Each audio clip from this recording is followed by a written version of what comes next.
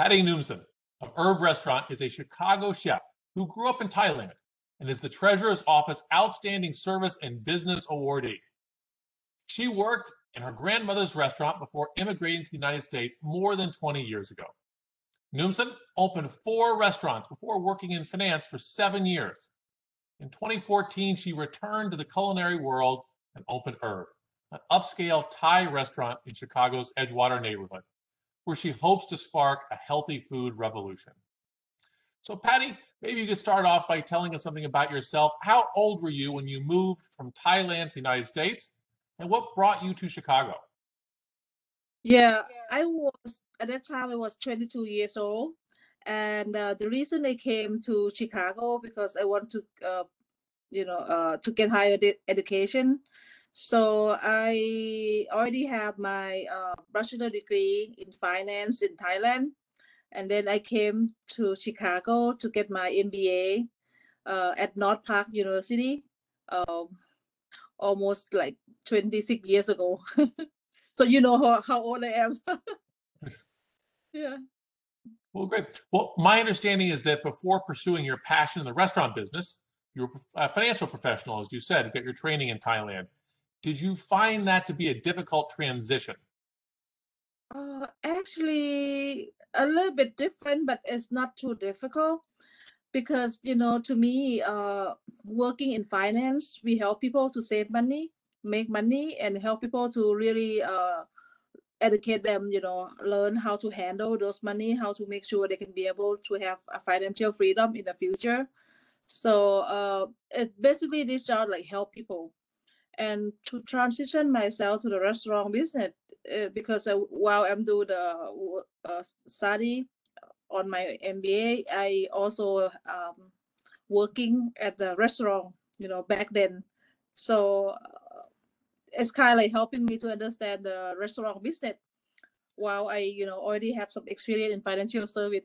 So it's all about helping people, you know, like I'm cooking good food, people eat, enjoy it, and it's help people to, you know, get healthier when we, we eat the right food. And same thing, help people to get healthier in, in terms of financial. So well, great. Well, that sounds like that wasn't that difficult to transition.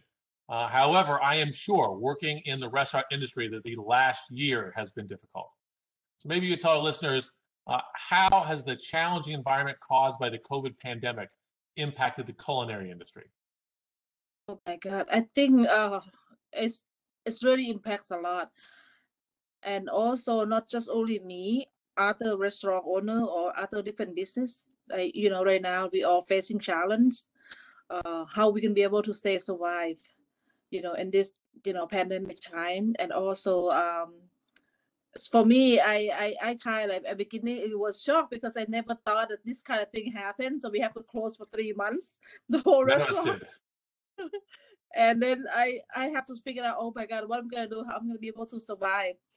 And I just, you know, tried the best I could, you know, uh, use all my saving that I have in the past to just you know have to pay all the bill that we have and um, and keep going um, so just hope you know that everybody get help from the government get help from any uh, um, like a non-profit organization or you know um, for state city um, county can be able to help those businesses get going in just you know like I, I see a lot of business close down because they they, they just it's kind of bad for them. But uh, for me, my determined, keep going. I don't want to close. yeah. Well, that's great. It requires definitely quite determination, but also ingenuity. Any changes you made to your business that uh, helped you get through? Oh yes. Okay. So before we used to have just only dine-in, uh, but we have to offer like carry out, like curbside pickup, and also delivery, which is we have to learn how to make fine dining to do delivery to make food look pretty and also um, you know like make sure that the order come to customer look good you know and beside that you know like uh, because we have to follow the guideline of the cdc you know like social distance and you know we have to wear the mask we have to have all you know like a, a cleaning territory so we do a lot like you know like a cleaning you know inside the restaurant and um it's, it's a lot of change that happen that we we have to really adapt ourselves to make sure safety for our customer and, and safety for the staff also. But I'm still in a good spirit. And thank you so much because sometimes you know in in this pandemic last year, it's kind of feeling that up and down because we don't know what future gonna happen. And uh, I just keep telling myself like you know like uh, keep going. I just pray. I can say that I just pray and uh, I just like um, reach out uh, some people, our friend who also in the restaurant industry that you know hold in there, you know, whole time because things will get better. It's not gonna be like this forever. And I believe somehow the change has to be, you know, happen. And like I said, I mentioned to you earlier, I'm still in a financial service. I'm still help people to, you know, um, to help them educate them and then make sure, you know, they set the, the, the financial in the right way for the family and for the individual. So what I did, I found my passion. I think I think a lot of people don't know about you know other things. I do a lot of help people to get some grant. You know, I'm specialized to get like a different kind of grant uh, and also loan and money that they need help so they can stay in the business. So I did help uh, a lot of restaurant owner in uh, Chicago, New York, and Michigan to get the free money. So they're happy. Like, oh my God, thank you so much. Like, well, well thank, thank you for helping out your other your other restaurant owners out there yeah yeah i see i should reach out and help them in different ways too and um you know like like like i mentioned earlier like because i love to cook this is my passion is cooking.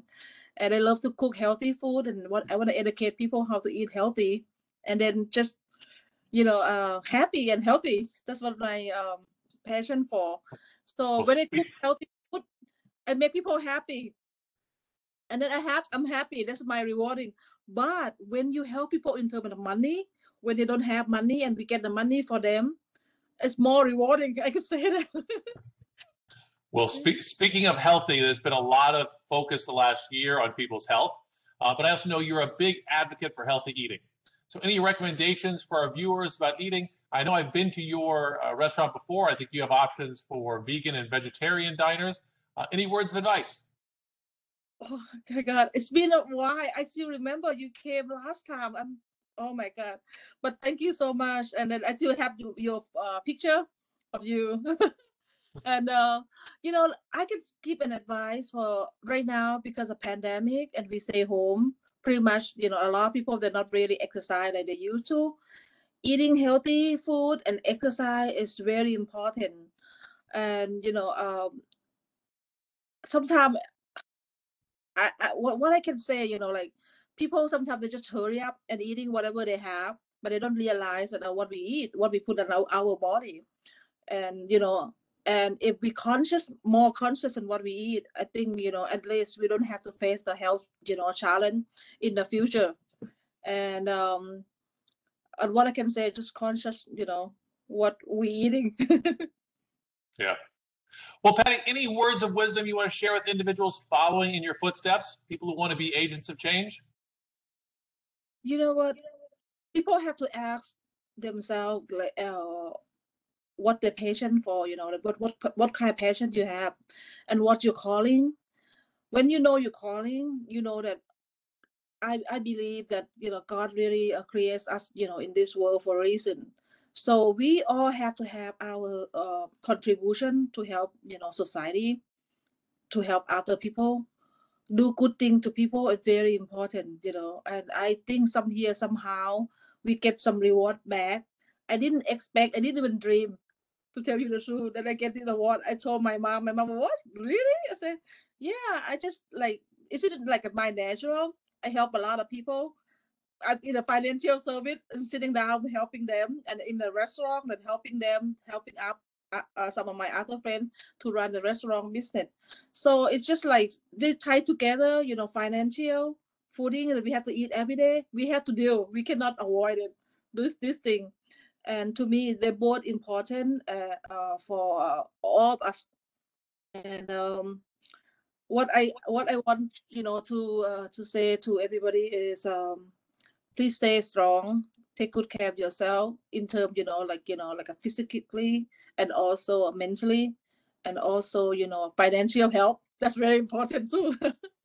so yeah, that's I just like you know uh, want to give to everybody like um ad, uh, not advice, just I can say like just wanna want everybody to be happy and healthy. I can say that.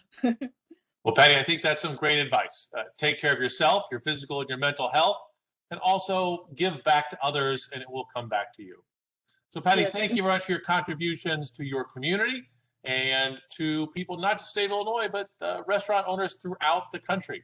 Really appreciate your service to our community, and congratulations. you. I'm gonna keep doing good thing and do uh, reach out more pe- more people to help also. But thank you. This award really um such an honor for me and my for myself and for my, my family. I uh really inspired me to do more. What can I say? Thank you so much. Thank you. Thank you, Michael.